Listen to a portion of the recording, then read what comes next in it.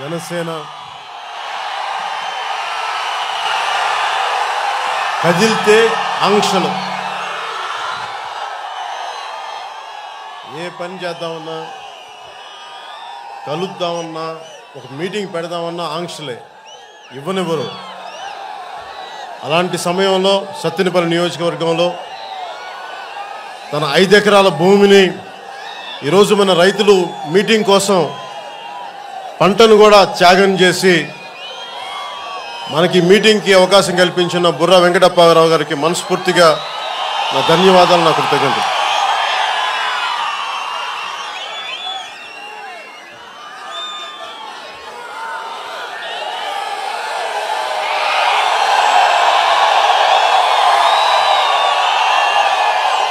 సత్తెనపల్లి పల్నాడు కొత్తగా వచ్చిన పల్నాడు జిల్లా బ్రహ్మనాయుడు పల్నాటి బ్రహ్మనాయుడు వీరత్వాన్ని ప్రదర్శించిన నేల చాపకూడు సిద్ధాంతాన్ని తెలియజెప్పిన నేల అలాంటి నే అలాంటి నేలకి ముందుగా హృదయపూర్వక నమస్కారాలు తెలియజేస్తూ ఇక్కడికి వచ్చిన జనసేన కోసం వచ్చిన ఆడపడుచులకి మహిళలకి వీర మహిళలకి మబ్బుల్లో పరిగెత్తే పిడుగులు లాంటి జన సైనికులకి.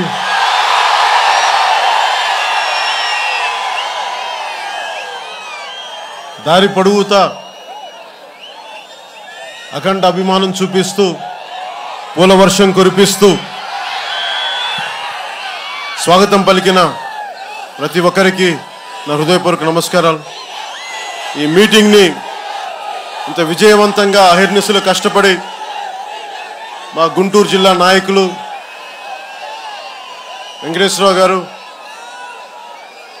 ప్రతి ఒక్కరికి పేరు పేరున ప్రతి జిల్లాలో ప్రతి నాయకులకి పేరు పేరున జనరల్ సెక్రటరీ శ్రీనివాస్ యాదవ్ గారికి ప్రతి ఒక్కరికి పేరు పేరున నా హృదయ హృదయపూర్వక నమస్కారాలు ధన్యవాదాలు. రైతు భరోసా యాత్ర వైసీపీ వాళ్ళు మాట్లాడుతున్నట్టుగా వాళ్ళకి నేను కదిలితేనే బాధ వాళ్ళకి. వారాంతపు పాలిటీషియన్ అంటారు. అరే నేను వారానికి ఒక రోజు వస్తేనే మీరు ఇంత గోల్ చేస్తున్నారు. నేను రోజు ఉంటే మీరు ఏం గోల్ చేస్తారు మీరు? ఆ రోజులు ఉన్నాయి. కానీ మీలాగా నాకు మా తాతలు సంపాదించిన డబ్బులు లేవు. లేదంటే అక్రమాలు దోపిడీలు చేసి సంపాదించిన డబ్బు లేదు. లేదా వేల కోట్ల విరాళాలు రావే నాకు. సో సొంత సంపాదనతో పార్టీని నడుపుతూ మీలాంటి వాళ్ళు ముందుకొచ్చి తృణమో పణమో ఇస్తే పార్టీ నడుపుతా ఉన్నా. తొమ్మిది సంవత్సరాల నుంచి. దీంట్లో ఒక పార్టీని నడపడం చాలా కష్టం. పార్టీని నడపడం అంటే బాధ్యత తీసుకోవడం. కోట్లాది ప్రజల బాధ్యత తీసుకోవటం. యువత బాధ్యత తీసుకోవటం వారి భవిష్యత్తుకి బాధ్యత తీసుకోవటం ఆడపడుచుల భవిష్యత్తుకి బాధ్యత తీసుకోవటం. ఇవన్నీ ఎందుకు అని చెప్పి నేను ఇంట్లో కూర్చోవచ్చు. సినిమాలు చేసుకోవచ్చు ఇంట్లో కూర్చోవచ్చు పేరు సంపాదించుకోవచ్చు.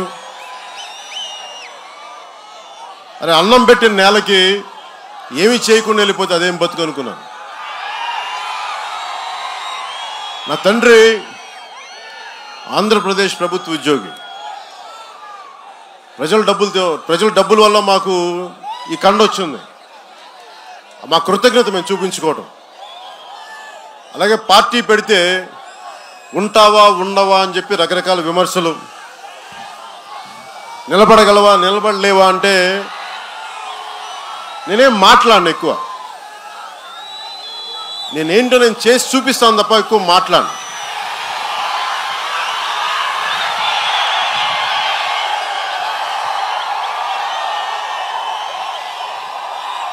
రైతు వైసీపీ వాళ్ళు చెప్తున్నట్టుగా రైతు అన్నం పెట్టే రైతు కన్నీరు పెడితే ఆ నేల సుభిక్షంగా ఉండదు. ముఖ్యంగా భూమి అంతా సాగు తీసుకొచ్చేది మనకు అన్నం పెట్టేది సొంత భూమి ఉన్న రైతులు ఉన్నప్పటికీ కూడా ఎక్కువ శాతం భూమిని సాగులో తెచ్చేది కౌలు రైతులే. అలాంటి కౌలు రైతులకి కష్టాలు వచ్చి అప్పులు పాలై ఇబ్బందికి గురవుతూ ఉంటే నా దృష్టికి ఒక పది మంది చనిపోయారు ఇద్దరు మంది చనిపోయారని లెక్కలు తీసే కొద్దీ ఆంధ్రప్రదేశ్లో మూడు వేల పైచులకు కౌలు రైతులు చనిపోయారు మనకు అన్నం పెట్టే రైతు చనిపోయాడు. ఒక్కొక్కరి కష్టాలు చెప్పుకోలేని. సరిగ్గా రెండు సంవత్సరాల క్రితం ఇదే పల్నాడు సత్యనపల్లి నియోజకవర్గంలో నేను అనుకుంటా. అప్పులు తీసుకొని సొంత భూమిలో సాగు చేస్తా ఉంటే అప్పు తీర్చలేదని చెప్పి ట్రాక్టర్ తోటి అప్పు ఇచ్చిన ఆ వడ్డీ వ్యాపారి వైసీపీ నాయకుడు భార్యాభర్తల మీద ట్రాక్టర్ పంపించేస్తే భార్య చనిపోయింది. ఆ విషయం మీకు గుర్తే ఉండాలి ఇలాంటి కష్టాలు కనికరం లేదు ఎవరికి. దీంట్లో నా వంతు కృషిగా మా పిఎస్సి చైర్మన్ పెద్దలు పార్టీకి వెన్నెముగ్గా ఉన్న ముందుండి నడిపిస్తున్న రాష్ట్ర ఒకప్పుడు ఉమ్మడి రాష్ట్ర సభాపతిగా సమర్థవంతంగా నిర్వహించి జనసేన జనసేన చేస్తున్న ప్రయాణానికి నా భుజం చేదోడు వాదోడుగా ఉంటుందని చెప్పి ముందుకొచ్చి పార్టీని సమర్థవంతంగా నడిపిస్తూ స్ఫూర్తిదాయకంగా నడిపిస్తున్న నాదిల్ల మనోహర్ గారు ఇంతమంది రైతాంగం చనిపోయారు. మనం ఏదైనా చేస్తే బాగుంటుందంటే ఒకటే చెప్పా మనకి డబ్బులు ఇచ్చేవాళ్ళు లేరు. వేల కోట్లు లేవు. ఒకటే చెప్పాను నేను డబ్బులు ఎవరు? ముందుగా ఒక ఐదు కోట్లతో ప్రారంభిద్దాం. మూడు వేల మంది కనీసం అండగా నిలబడదాం. భవిష్యత్తులో జనసేన కనుక ప్రభుత్వం స్థాపించగలిగే శక్తి సత్తా మీరు కానీ ఇవ్వగలిగితే మీరు ఇవ్వగలిగితే నా సొంత డబ్బే. ఇంత నేను అటాచ్మెంట్ లేకుండా నేను ఇవ్వగలను. అలాంటిది మీరు ప్రభుత్వ ఖజానా గనుక మా బా మా చేతుల్లో పెడితే సమర్థవంతంగా ప్రతి ఒక్కరికి న్యాయం జరిగేలాగా నేను ఆ సంపాదన మేము మీకు అందరికీ సరైన పథకాల ద్వారా వచ్చే ఏర్పాటు చేస్తాం. ముఖ్యంగా రైతుకి. అన్నం పెట్టే రైతుని సరిగ్గా చూసుకోలేని పక్షంలో రైతు కన్నీరు పెడితే రైతు కన్నీరు పెడితే ఆ నేల సుభిక్షంగా ఉండదు. అనంతపురం నుంచి కర్నూలు ఏ జిల్లాలకి మేము చేసిన ఈ రోజుకి పశ్చిమ గోదావరి కానీ ఏ జిల్లాల్లో కూడా రైతు సుభిక్షంగా లేడు. మొన్నటికి మొన్న మానవ తుఫాను వస్తే తొమ్మిది రోజుల నుంచి పంట పొలాల్లో నీరు నిండిపోతే కనీసం కాలువల్లో పుడికలు తీసేవాళ్ళు కూడా లేరు ప్రభుత్వానికి. వచ్చి పలకరించే ప్రభుత్వ శాఖలు లేవు అధికారులు లేరు. కానీ బెదిరించడానికి అధికార వ్యవహారం ఉంది అధికార యంత్రాంగం ఉంది కానీ సభని జరుపుకోకూడదని చెప్పి అధికార యంత్రాంగం ఉంది కానీ ప్రజలు కష్టాలు వస్తే కన్నీళ్ళు తుడిచే అధికార యంత్రాంగం లేదు. సినిమా టికెట్లు ఆపడానికి మొత్తం చీఫ్ సెక్రటరీ నుంచి ప్రతి ఒక్కరు కదులుతారు ముందుకి. రైతుకి కష్టం వస్తే కదలటానికి ఉండదు. వారాహి అని చెప్పి ఒక బండి తీసుకొస్తే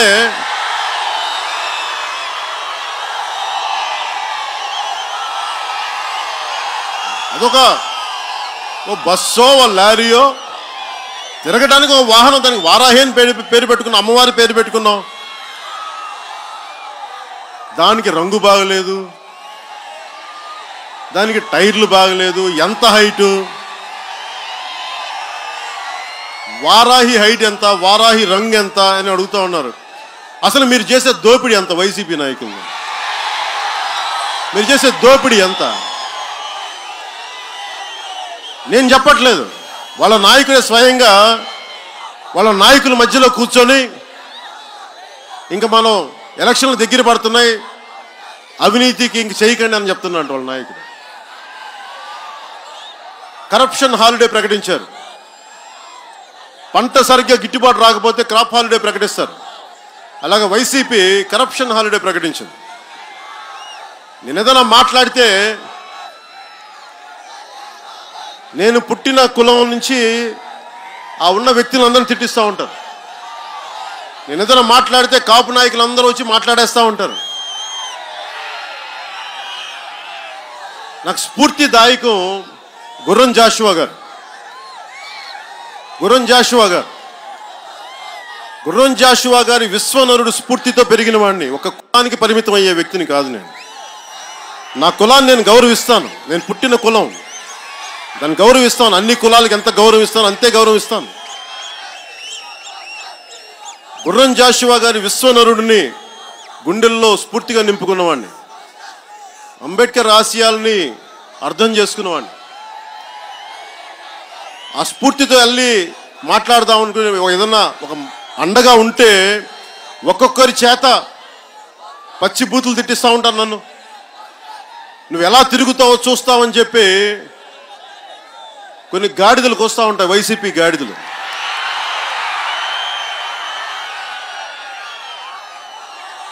గాడిదలు కుయ్యో క్షమించాలి ఓనర్ పెడుతుండ నన్ను రానివ్వను రోడ్డు మీదకి అనే ముఖ్యంగా నన్ను తిట్టే వైసీపీ గాడిదలకే చెప్తాను. మేము చెప్పాను కదా మీ గాడిద ఓనర్లకి నేను భయపడమ్మా అట్లా. ఎక్కువ గాడిదలు అరిస్తూ ఉంటే మనం ఏం చేస్తాం రోడ్ల మీద చెప్పండి. చిన్నప్పుడు మనందరం ఏం చేసి అలాగే నన్ను తిట్టే వైసీపీ గాడిదలకి ఒకటే చెప్తున్నా. అంటే మీరు మాట్లాడటం మానేశారు. అరుపులే కేకలే సంబంధం లేని మాటలు. పెన్షన్లు రావట్లా? వీళ్ళకి ఇన్సూరెన్స్ ఇద్దామంటే ఇన్సూరెన్స్ రానివ్వరు. ఉదాహరణకి సత్తెనపల్లిలోనే ఏ స్థాయికి వెళ్ళిపోయారు స్థానిక నాయకులు అంటే ఏడు లక్షలు ఇన్సూరెన్స్ వస్తే రెండు లక్షలు ఒకటిన్నర లక్ష రూపాయలు మాకు కట్టేమన్నారు లంచం ఇవ్వమన్నారు ఐదు మిగతా ఐదు లక్షలు ఇవ్వడానికి నాలుగున్నర లక్షలు ఇవ్వడానికి. ఆ విధంగా ఎమ్మెల్యే స్థాయి స్థాయి వ్యక్తి కూడా ఈ విధంగా దోపిడీ చేస్తున్న ప్రజలకు ఎలా న్యాయం జరుగుతుంది? రెండు వేల పద్నాలుగు పంతొమ్మిది ఎన్నికల్లో నన్ను చాలా వెటకారం చేసే ఒక స్థానిక ఎమ్మెల్యే గారు ఉన్నారు ఆయన.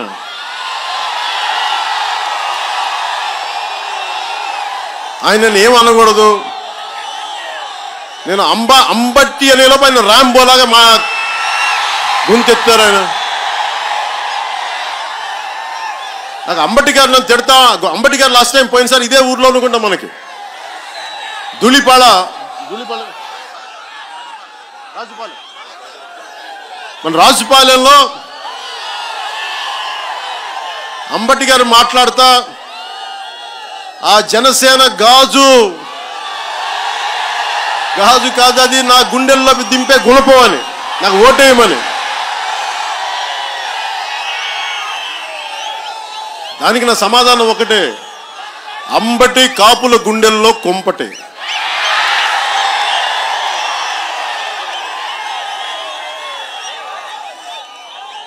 నువ్వు ముందు పెద్ద పెద్ద మనిషి పోలవరం ఫినిష్ చేయండి మీరు. పోలవరం ఫినిష్ చేయరు అది ఎప్పుడు అవుద్దో తెలియదు మీరేమో ఇరిగేషన్ శాఖ మంత్రి మీరు. ఏదైనా మాట్లాడితే రానివ్వం. కేసులు పెడతాం. ఇవన్నీ పిచ్చి కథలు ఇంకా ఆపేసేయండి. వ్యక్తిగతంగా నాకు అంబటి గారి మీద కోపం లేదు.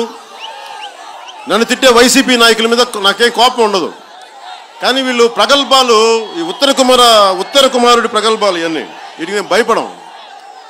మా వాళ్ళ మీద కేసులు పెడతా ఉన్నారు మా జన సైనికుల మీద మా వీర మహిళల మీద మా నాయకుల మీద.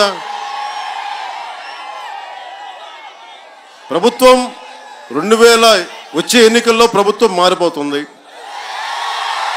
వైసీపీ రావట్లేదు. రానివ్వకుండా చూసుకునే బాధ్యత మాది. దానికి కారణాలు కూడా చెప్తాం. నిజంగా వైసీపీ పాతిక మంది ఎంపీలని పెట్టుకొని ఇంకా ఇంకా ఐదు ఐదు మందితో రాజ్యసభ వాళ్ళతో కలుపుకున్న ముప్పై ముప్పై ఒక ఎంపీ ఎంపీలు నూట యాభై ఒక్క మంది ఎంపీలను వీళ్ళని పెట్టుకొని చిల్లర యాశాలు తప్ప చిల్లర వ్యవహారాలు తప్ప సినిమా టికెట్లు కా బబ్బు దానికి రంగు ఏంటి దీని మీటింగ్ పర్మిషన్లు లేవు ఇలాంటి చిల్లర యాశాలు తప్ప అరే పది మందికి ఉద్యోగాలు కల్పిద్దాం. యువతకు ప- పరిశ్రమలు పెడితే యువతకు ఉద్యోగ అవకాశాలు రావాలి. ఇవి ఇట్లాంటి ఆలోచనలు లేవు. రైతు గిట్టుబాటు ధర ఇవ్వాలి. ఇలాంటి మంచి పనులు చేయరు. అన్ని పనికి మాలిన ఉపయోగం లేని పనికి మాలిన మాటలు పనికి మాలిన వ్యవహారాలు తప్ప పనికొచ్చేది ఒక్కళ్ళు చేరీలు ఏదైనా ఇస్తే మేము పనిచేస్తాం పనిచేస్తూ ఉంటారు ఎంతమందికి సమర్థవంతంగా పంచుతున్నారు? చెప్పండి మీరు. ఏదైనా మాట్లాడితే నువ్వేం చేయగలవు? వారానికి ఒకసారి వస్తావు. అంతకుముందేమో సినిమాలో ఉన్నావు నువ్వెందుకు అంటారు? నాకు వేరే ఆధారం లేదు. మీలాగా మన అంబటి గారిలాగా ఏడు లక్షల రూపాయలకి రెండున్నర లక్షలు కట్టు తీసుకునే దరిద్రపు మనస్తత్వం నాకు లేదు. నా సొంత డబ్బు నేనే కొన్ని కోట్లు ఇస్తాను తప్ప ప్రజల కన్నీళ్ళు శవం మీద పేలాలు ఏరుకునే మనస్తత్వం అమ్మటి గారికి ఉంది. మాకు లేదు. అలాగే ఎప్పుడు మాట్లాడినా కానీ కొన్ని వైసీపీ గాడిదలు బయటకు వచ్చేస్తాయి. నేను మాట్లాడగానే వైసీపీ గాడిదలు వచ్చేస్తాయి బయటికి. క్షమించాలి. నన్ను తిట్టే వైసీపీ గాడిదలు బాధపడచ్చు కానీ ఇది ఇది ప్రజాస్వామ్యమా? ఇదేనా రాజ్యాంగబద్ధమైన మాటలు అంటారు మీరు నిజంగా రాజ్యాంగబద్ధంగా మాట్లాడి సంస్కారవంతంగా మాట్లాడితే నా అంత సంస్కారవంతుని మీకు చూపించ మీరు మాకు కనిపించడం మీరు ఎదవేషాలు వేసి నోటికొచ్చింది మాట్లాడితే నోటికొచ్చింది మాట్లాడితే మేము అప్పుడు మేము కూడా మా నోరు ఇప్పాల్సి వస్తుంది. ఎందుకంటే చాలా పద్ధతిగా మాట్లాడాం. ఒక్కొక్కళ్ళు అవ్వాకులు చెవాకులు పేలుతూ ఉంటారు. అరే ఇంతమందికి మేము నిలబడ్డాం. మీరు చేయండి ఆ పని. ఇంతమంది ఇంతమంది రైతులకి ఇప్పటికి కోట్లాది రూపాయలు ఇచ్చాం. మీరు చేయండి ఆ పని. మా సంతోషం. నాకేం సరదా కాదు నాకు నా కష్టార్జితం ఇవ్వడానికి. మా మద్దతుదారులు కష్టార్జితం ఇవ్వడానికి. ఎంత ప్రేమతో ఇచ్చారు. ఇప్పుడు నా పని మీరు చేయండి. కనీసం ప్రభుత్వం నుంచి వచ్చే డబ్బులు వాళ్ళకి ఇప్పించండి.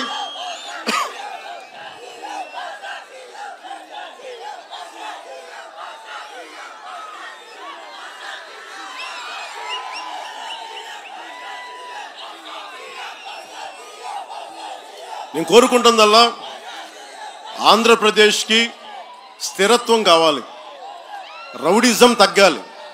ప్రభుత్వ వ్యవస్థలు బలోపేతంగా పనిచేయాలి. పొద్దున్న నేను వస్తూ ఉంటే ఎస్పీ గారితో మాట్లాడాను ఎస్పీ గారని మీకు పర్మిషన్ లేదని చెప్పారు. మా నాయకులకి ఏదో నిన్న పర్మిషన్ ఇచ్చి మళ్ళీ ఈరోజు పర్మిషన్ క్యాన్సిల్ చేసే పరిస్థితిలో ఉంటే మళ్ళీ నేను రోడ్డు మీదకి ఎక్కాల్సిన పరిస్థితి వచ్చింది మళ్ళీ. మళ్ళీ నన్ను పార్టీ ఆఫీస్ నుంచి రానిచ్చే పరిస్థితిలో పె- పెట్టారు మళ్ళీ. నాకు అలవాటు అయిపోయింది. మీరు నన్ను ఆపితే నేను బయటకు వస్తాను నువ్వు పీకే నేను మళ్ళీ మొలుస్తా. నువ్వు తొక్కే నేను మళ్ళీ లేస్తా. మీకు అలుపేరగానే యుద్ధం ఇస్తాం మీకు. అందుకని ఇలాంటి బెదిరింపులు మానేసుకోవాలి. అలాగే పోలీస్ అధికారులకు కూడా మేము చెప్తాను నేను చాలా బాధ్యత గల వ్యక్తిని.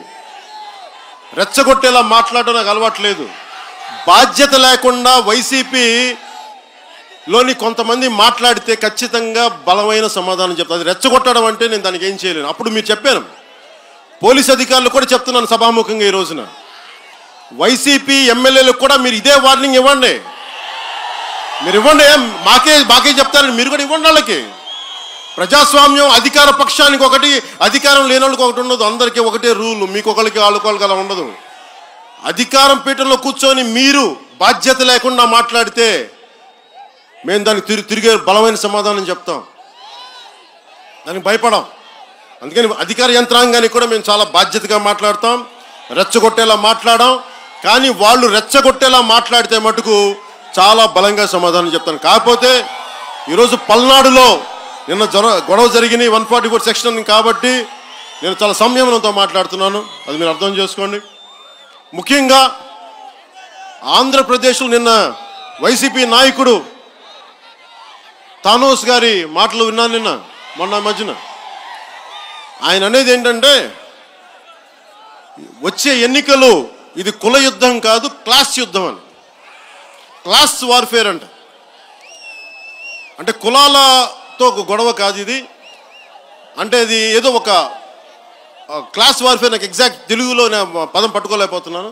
క్లాస్ వార్ఫేర్ అంటే ఉన్న అంటే లేని వర్గాలు ఉన్నత వర్గాల మధ్య యుద్ధం. నాతో కంపేర్ చేసుకుందాం. నా ఆస్తి ఎంత? వైసీపీ వాళ్ళ ఆస్తి ఎంత? ఆయన చెప్పింది నిజమే క్లాస్ వార్ఫేరే ఇది. కాస్ట్ వార్ఫేర్ కాదు క్లాస్ వార్ఫేరే మీరు అడ్డగోలుగా దోపిడీ మీరు ఎక్స్ప్లాయిటేషన్ చేస్తా ఉన్నారు. ఇది ఎక్స్ప్లాయిటెడ్ క్లాస్ ప్రజల్ని మీరు ఎక్స్ప్లాయిట్ చేస్తుంటే వాళ్ళకి ఎవరైతే ఎక్స్ప్లాయిట్ చేస్తున్నారో దోపిడీ చేస్తున్నారో వాళ్ళకి జరిగే యుద్ధం అది. ఆ విధంగా ఇది వర్గ యుద్ధం ఇది. అలాగే మనకు ఆంధ్రప్రదేశ్ కానీ భారతదేశంలో కానీ కులాల సమూహం మధ్య గొడవలే ఇవి. దాంట్లో ఏ మాత్రం సందేహం లేదు. కులాల గురించి నేను చెప్పాను కదా గుర్రం జాషువా గారి దళిత కవి మహానుభావుడు విశ్వనరుడు అని చెప్పాడు ఆయన. కులం దాటి మతం దాటి ప్రాంతం దాటి ఎల్లలు సరిహద్దులు దాటి నేను విశ్వనరుడిని విశ్వమానవుడిని చెప్పిన మహానుభావుడు. అలాంటి నాకు కులాల గురించి మాట్లాడడం ఇబ్బందికరమైన పరిస్థితి. కానీ ఇది వాస్తవం ఇది. ఇది వాస్తవం. ఈ వాస్తవాన్ని మాట్లాడటానికి నాకేం ఇబ్బంది లేదు. అణగారిన వర్గాలు అధికారం రాని కులాలు అధికారం చూడని కులాలు అధికారంలోకి రావాలి అంటే అధికారంలోకి రావాలి అంటే ఇప్పుడు దాకా అధికారం చూడని కులాలకి సాధికారత ఉండాలి. అంటే తామాషా దామాషా పద్ధతిని ఉంది. ఆ దామాషా పద్ధతి ఏంటంటే మేమెంతో మాకంతని ఈ రోజున జనసేనకి ఇంత బలం ఉండి కూడా పోయిన ఎన్నికల్లో విడివిడిగా పోటీ చేయడం వల్ల వైసీపీ గెలిచింది కానీ ఇంకోలా గెలవలేదు. రెండు వేల పద్నాలుగు లాగే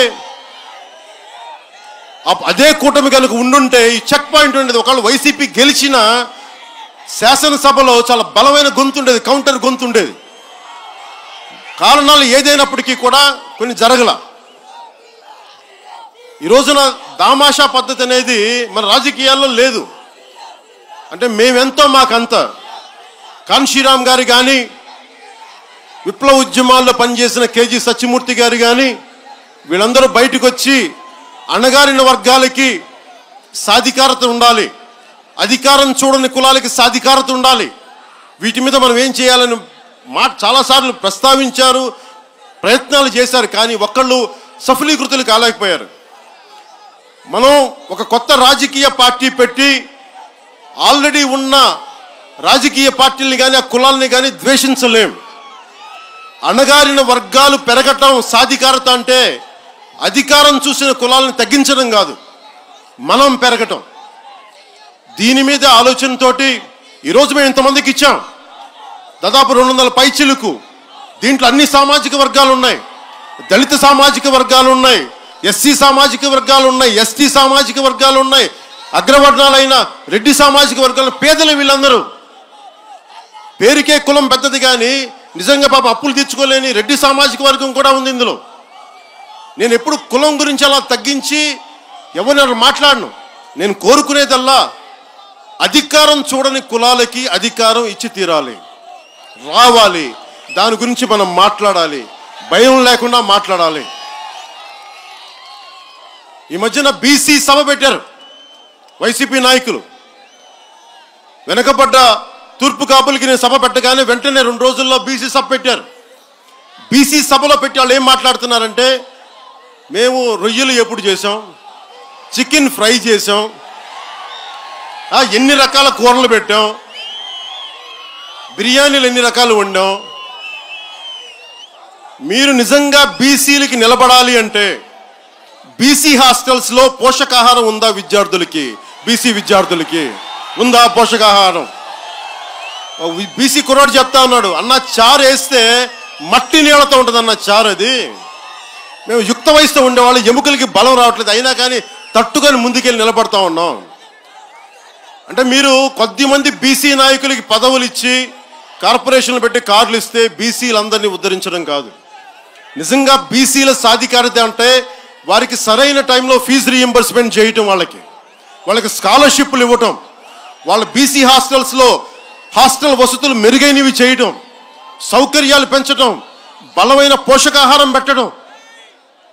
నేను ఆలోచిస్తుంది అది చేద్దామని. బీసీ సాధికారత అంటే కూర్చొని మేము సభలు పెట్టాం బీసీలకు బిర్యానీలు పెట్టాం. ఏ మీ బిర్యానీలు ఎవరికి కావాలా? మేము మేము మా మా- మా బలం ఉంటే మేము తింటాం.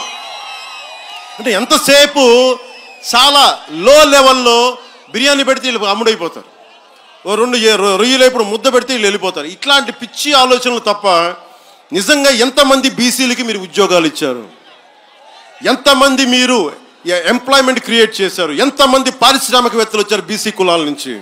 ఎంతమందికి మైనింగ్లో బీసీలు ఉన్నారు?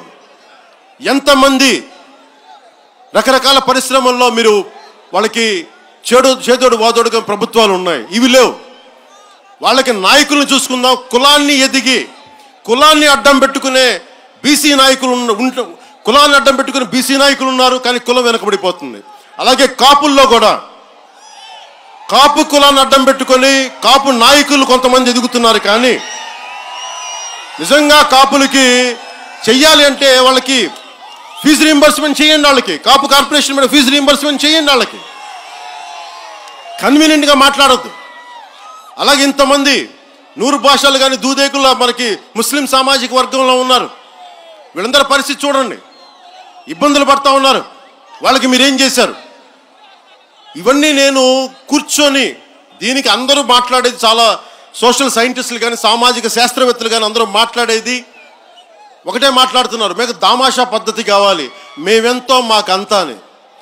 ఈ పద్ధతి మాట్లాడుతూ ఉన్నారు కానీ ఎవరు ముందుకు తీసుకెళ్ళలేకపోతున్నారు. నేను కోరుకుంటుంది కూడా ఇది జరగనిప్పటికీ ప్రాక్టికల్గా నేను పోయిన ఇప్- ఇప్పటంలో రెండు వేల మొన్న పోయిన పోయిన మార్చిలో నేను వైసీపీ వ్యతిరేక ఓటు చీలనివ్వనని చెప్పా. ఈ రోజుకి నేను అదే మాట మీద కట్టుబడి ఇబ్బందిగా ఉంటుంది. నా దానికి కారణం కూడా చెప్తా.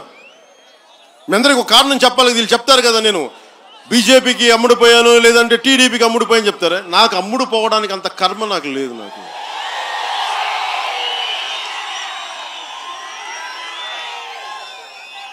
మీలాగా పెన్షన్ డబ్బులు కాజేసి నీచత్వం నాకు లేదు.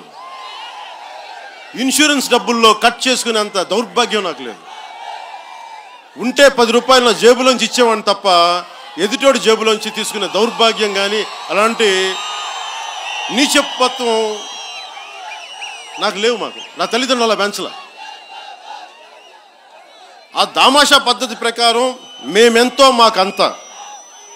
ఎస్సీ కులాల్లో దళిత కులాల్లో అరవై కులాల పైగా ఉన్నాయి. ఎస్టీ కులాల్లో ముప్పై నాలుగో ముప్పై ఆరు ఉపకులాలు ఉన్నాయి. కాపుల్లో దాదాపు తూర్పు కాపులు సంబంధించి కానీ తెల్లగా బలిజ ఒంటరి ఇలాంటి మునురు కాపు సమూహాలు కొన్ని ఉన్నాయి.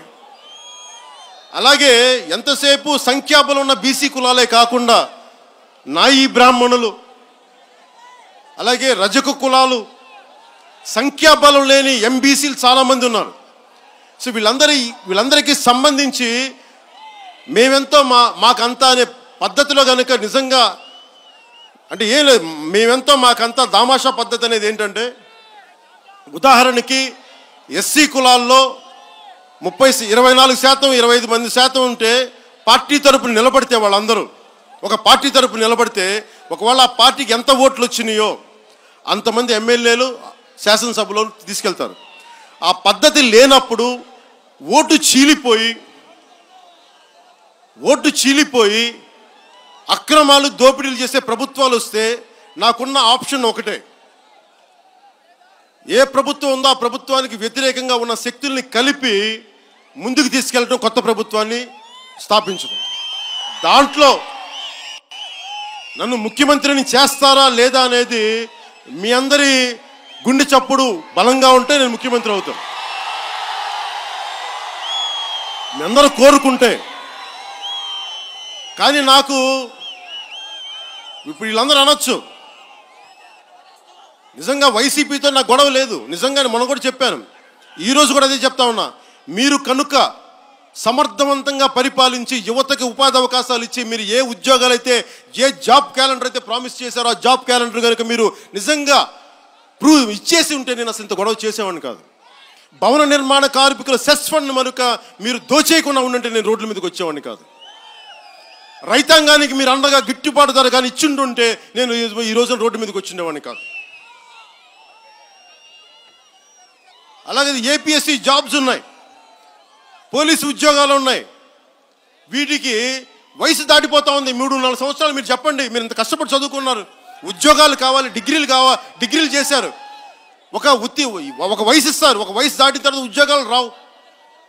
ఈరోజు నేను కోరుకుంటాను. నిజంగా ఈ రోజున మేము వైసీపీని అడుగుతా ఉన్నాను. మీరు ఉద్యోగం మీ వల్ల జాబ్ క్యాలెండర్ డిలే అయింది. ఉద్యోగులకి మీరు ఎక్స్ట్రా యాడెడ్ మీరు అనుకున్న స్టిప్యులేటెడ్ టైంలో మీరు చేయలేకపోయారు కాబట్టి నిరుద్యోగులకి మీరు ఆ ఉద్యోగాలకు సంబంధించిన వయసు పరిమితిని మీరు పెంచండి మీరు. ఇరవై వయసు పరిమితిని పెంచండి ఉద్యోగాలు నిరుద్యోగులకు సంబంధించి. ఒకవేళ వీళ్ళు చేయలేకపోతే ప్రత్యేకించి కొత్త ప్రభుత్వం రాగానే మనం చేయిస్తానికి మీకు మాటిస్తాను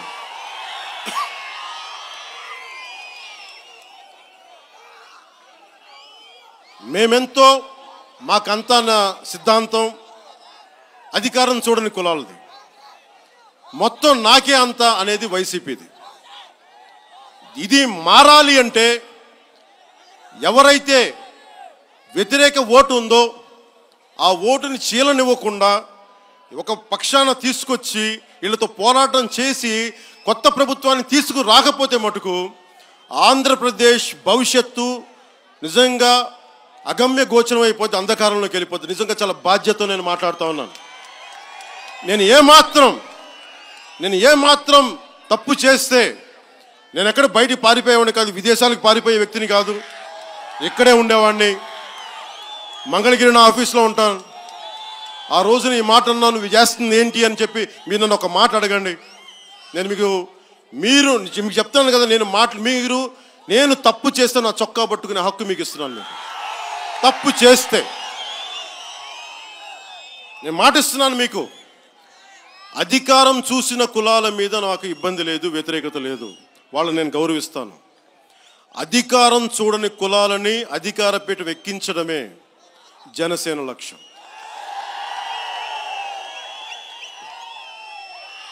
ఉన్నత వర్గాల్లో పేదరికం ఉంది. ఆ పేదలకి ఈబీసీ రిజర్వేషన్ సరిగ్గా ఉండాలి. ఎకనామికలీ బ్యాక్వర్డ్ క్లాస్కి నిజంగా అండగా ఉండాలి. ఉద్యోగ అవకాశాలు కావాలి. ఇంత పల్నాడులో పరిశ్రమలు రావాలి. బెదిరించే రాజకీయ నాయకులు కాదు. బెదిరించే నాయకులు కనుకుంటే ఎదిరించే యువత ఉండాలి గుర్తుపెట్టుకోండి. మీరు భయపడితే ఎట్లాగా? అరే కణకణలాడే నిప్పు కణాల్లో ఉన్నారు. మీరు భయపడితే ఎట్లా? మీరు ఆలోచిస్తే ఎట్లా? మీరు అందరూ విడిపోయి ఉన్నారు. మీకు జనసేన ఉంది. నేను మిమ్మల్ని రెచ్చగొట్టను. నేను పిలిపించిన రోజున రోడ్డు మీద చెయ్యి కూడా ఎత్తమని చెప్పను. మీరు చేతులు కట్టుకొని నడుస్తాం ముందుకు ముందుకు వెళ్తా ఉండండి. ఎవరు అడ్డం వస్తారో చూస్తాం.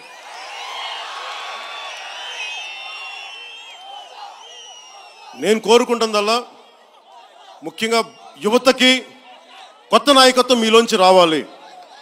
కొత్త యువ నాయకత్వం రావాలి. వచ్చే తరం కోసం నేను తపన పడుతున్నా. వైసీపీ నాయకులు వచ్చే ఎన్నికల కోసం ఆలోచిస్తున్నారు. నేను వచ్చే రెండు తరాల కోసం ఆలోచిస్తున్నాను అది నా ఆలోచన విధానం. నాకే నేను ఎందుకు ఈ రోజునంటే నాకు నేను చాలాసార్లు రెండు వేల పద్నాలుగులో కూడా టీడీపీని బీజేపీకి ఓటు చేస్తే చాలా చోట్ల వాళ్ళకి వేయలేదు. కానీ నన్ను వచ్చాను నువ్వు చెప్పా ఓటేసామని వాళ్ళకి తెలియదు. ఓటు వేయలేదని తెలిసిన వాళ్ళు కూడా నన్ను అడిగితే నేను ఒకటే చెప్పా. వాళ్ళు ఓటు వేయలేదని తెలుసు. కానీ నేను బాధ్యత తీసుకున్నా. నేను మద్దతు పెలికిన తెలుగుదేశం పార్టీతో నేను గొడవ పెట్టుకున్నవాడిని. నాకేముంటుంది? నాకు ఎవరి మీద ప్రేమ ఉండదు ద్వేషం ఉండదు. నాకు కావాల్సిందల్లా రిజల్ట్ కావాలి. నాకు ఇది అడిగా ఇది చేయండి. ఇది చేయలేకపోతే నా నేను అడిగింది నా ప్రజల తరపున అడిగాను. మా యువత తరపున అడిగాను మా మహిళల తరపున అడిగాను మా ఆడపడుచుల తరపున అడిగాను మా పెద్దల తరపున అడిగాను మా రైతుల తరపున అడిగాను. అది నిలబెట్టుకోలేని పరిస్థితిలో ఉన్నప్పుడు ఖచ్చితంగా నేను విభేదిస్తాను రేపొద్దున భవిష్యత్తులో వైసీపీ వ్యతిరేక ఓటు చీలనివ్వను అన్న మాట మీద ఉన్నాను అదే మాట మీద ఉన్నా ఎవరైనా సరే నాతో సహా మీరు పని నేను పని చేయనప్పుడు మీరు నన్ను నిలదీయండి. నేను మీకు ప్రతిదీ శ్వేతపత్రం ఇస్తాను. ప్రభుత్వంలో ఏం జరుగుతున్నాయి? ఎంత డబ్బు ఉంది? ఏ డబ్బు ఎటెళ్తుంది? మొత్తం మీకు చాలా ట్రాన్స్పరెంట్గా పారదర్శకంగా మీకు అన్ని చేసి చూపిస్తాను. నేను ముఖ్యమంత్రి కావాలి అనేది నేను కోరుకుంటే అవ్వదు మీరు కోరుకుంటే అవ్వదు. ఇంకా నేను ఏ రోజును కూడా భుజం కాసేవాడిని తప్ప నేను కూర్చొని మీ భుజాన్ని అండగేయమని నేను అడగను నేను. ఎందుకంటే నాకు చాలా చిన్నతనంగా ఉంటుంది. నేను మీ కష్టాలు నేను నిలబడతా. కానీ మీ కష్టాలకి ఈరోజు నేను నేను ఎంత పుష్ చేసుకున్నా ఒక ముప్పై కోట్లు ఇవ్వగలను. సొంతగా. కానీ మీరు నాకు అధికార పీఠం కనుక జనసేనకి ఇస్తే లక్షల కోట్లు చాలా సమర్థవంతంగా అవినీతి రహిత పాలన మీకు చూపిస్తాం. అండగా ఉంటాం. ఈ ఆటలో ఈ రాజకీయ క్రీడలో ఓటు చీలకుండా ఎలా ఆడాలనేదే మన ముందున్న లక్ష్యం. ఈ రోజున వైసీపీ వాళ్ళందరూ జనసేనని రానివ్వకుండా జనసేన మద్దతుదారులను బెదిరించేసి నేను ఒకళ్ళ కొమ్ము కాసేస్తున్నాను చెప్తే నేను ప్రజలకు తప్ప ఎవరికి కొమ్ము కాయను. నా వ్యూహం అంతా నా వ్యూహం అంతా బా మన ఆంధ్రప్రదేశ్ భవిష్యత్తు కోసం ఉంటుంది తప్ప వ్యక్తిగతంగా నాకు ఏ అవసరాలు లేవు. నిజంగా నాకు అంత డబ్బు మీద సంపాదన మీద కూడా నాకు అంత ఆసక్తి లేదు. జీవితంలో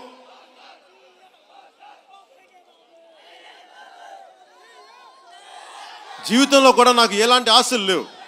కాకపోతే నాకేనంటే మనందరికీ నీతులు చెప్పే రాజకీయ నాయకులు మనందరినీ రూల్స్ పాటించమని చెప్పే రాజకీయ నాయకులు వాళ్ళకి రూల్స్ పాటించరు. నాకు చిన్నప్పటి నుంచి నిలదీయాలని నాకు నాకు చిరాకు కోపం నాకు. యువతకి మొన్న మధ్యన గోదావరి జిల్లా నుంచి ఒక యువకుడు వేధిస్తూ ఉంటే పోలీస్ స్టేషన్లో కూడా శిరోమండనం చేయిస్తే ఆ కుర్రోడు వెళ్ళిపోయి నేను నక్సలైట్లో జాయిన్ అయిపోనా? అని చెప్పి వైస్ ప్రెసిడెంట్కి లేఖలు రాశాడు. అంటే అంత అంత విప్లవ ఉద్యమాలకు వెళ్ళాల్సినంత నెట్టి ఒక పరిస్థితిని మీరు ఎందుకు తీసుకొచ్చారు? యువతకు ఎందుకు తీసుకొచ్చారు? ఉదాహరణకి పల్నాడులోనే ఉంది. పల్నాడు నుంచి ఎందుకు ఉద్యోగ అవకాశాల కోసం ఎందుకు ఇక్కడి నుంచి యువత వెళ్ళిపోతున్నారు ఇక్కడి నుంచి? ఎందుకు మైగ్రేషన్ జరుగుతూ ఉంది? ఉద్యోగ అవకాశాలు ఎందుకు పరిశ్రమలు ఇక్కడ లేవు. వీటన్నిటికీ కావాలి అంటే సమర్థవంతులైన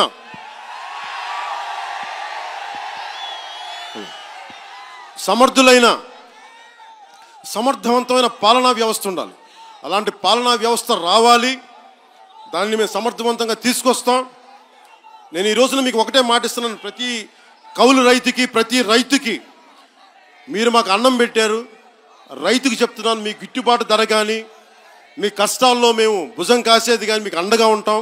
ప్రతి కౌలు రైతు పక్షాన మేము వహిస్తాం. కౌలు రైతు కష్టాలను తీరుస్తాం. కౌలు రైతు కుటుంబం తాలూకు పిల్లల బాధ్యతల్ని ప్రభుత్వమే తీసుకున్న ఒక సరైన పాలసీ విధానాలు తీసుకొస్తాం అని తెలియజేసుకుంటూ ముగింపు వాక్యాలుగా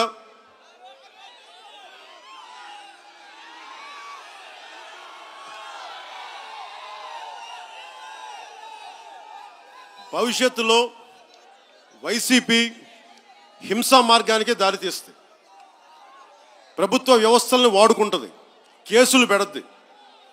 జనసేన నాయకులకు కూడా అందరికీ జనసేన నాయకులు కానీ జన సైనికులు కానీ వీర మహిళలు కానీ మహిళా నాయకురాలు కానీ ప్రతి ఒక్కరికి నా విజ్ఞాపన నా విన్నపం మీరు అన్నిటికీ సంసిద్ధం అవ్వండి భయపడద్దు. మార్పు కావాలి అంటే పోరాటం చెయ్యిందే మార్పులు రావు. ప్రజల పక్షాన్ని నిలబడి రేపొద్దున మీరందరూ అధికారంలో కూర్చోవాలి అధికార పీఠంలో కూర్చోవాలని చెప్పి ఉవ్విల్లూరే ప్రతి జనసేన నాయకులు బాధ్యతగా పనిచేయండి నిలబడండి. కేసులుంటే నేను చెప్తున్నాను కదా నా మీద లాఠీ పడితే రక్తం చిందించుకోవడానికి చిందించుకోవడానికి కూడా నేను సంసిద్ధంగా ఉన్నాను. జైల్లో కూర్చోవడానికి కూడా సంసిద్ధంగా ఉన్నాను. నా సినిమాలు ఆపేసినా ఆపేసుకో నన్ను ఏం చేసుకోలేవు. చెప్పాను కదా నువ్వు కొట్టే కొద్దీ నేను పైకి లేస్తాను తప్ప కింద పడవను. అలాగే